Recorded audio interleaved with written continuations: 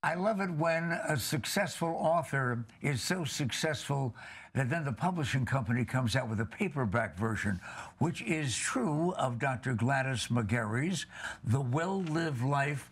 Oh, what makes this kind of unusual is, is that she wrote it when she was 102 years old.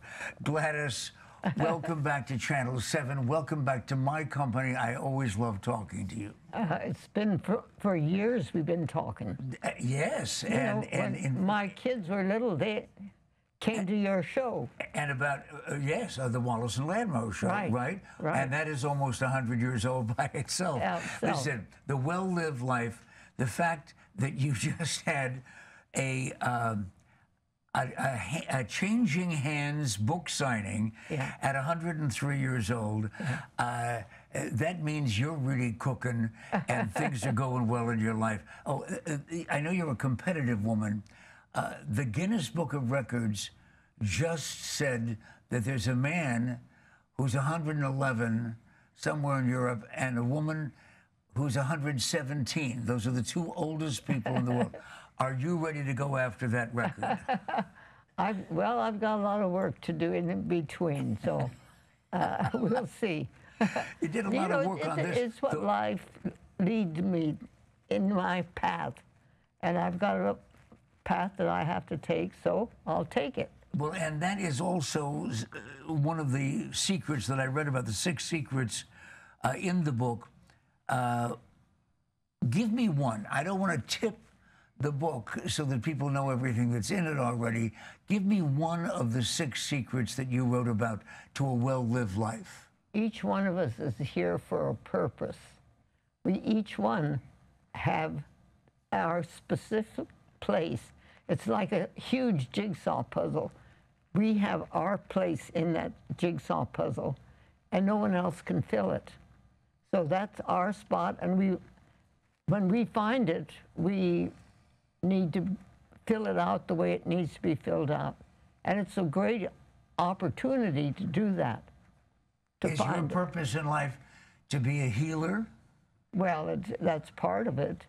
But it's, uh, you know, to love and laughter and, and hope and the things that make people happy and the things that make us want to live for life, you know, live on life live into the light, not into the darkness. You know, that, why, why, why do we want, want people want to move into darkness? It's hard. But you know, if you're looking for the light, you'll find it. It's always there. It's just that we have people, to look for it. I know some people, Gladys, and we all do, who live a life of uh, deprivation. They decide that, well, I'm not going to eat that because uh, it might harm me, and I'm not going to go travel because I'm just going to relax and take it easy in my house and my neighborhood. What do you think about that kind of an attitude toward life? If that's what they choose, it's their choice. It's not mine, but if that's their choice, uh, you know, I'm not going to interfere with that. I'll like to have uh, reach out to them so, to, to let them see that there are other ways of looking at it. But if they don't want to, that's their choice. You were born, actually, or lived the early years of your life internationally in India, and you were acquainted with Mahatma Gandhi? Yeah, well, I, my mother went into labor at the Taj Mahal. She, I think she's kind of a drama queen, you know, with me. but but uh, I made it to the hospital and I got born. But um, yes, I saw Gandhi and and uh, he was and my parents were friends with him, so that they, uh, you know, worked together when the partition happened in India and and uh, my, in my house, I have a shawl that Gandhi gave my mother and a blanket that my he gave my dad. You know, but they were they were good friends. Now listen, uh, Gladys. Before we have to say at least so long for a while, till your next book, I want to know about this juice that you think that everybody should know about. Okay. Well, I had written five other books, but they were all medical books. So it was about disease and about working with people who are sick and all of that.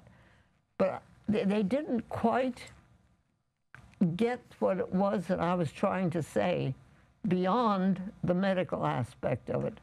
So this book kind of holds my juice in it.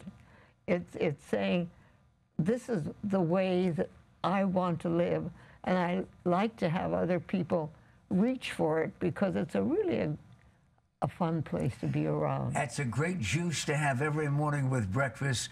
And Dr. Gladys McGarey's book, The Well Lived Life, available everywhere now in paperback. It's good to see you.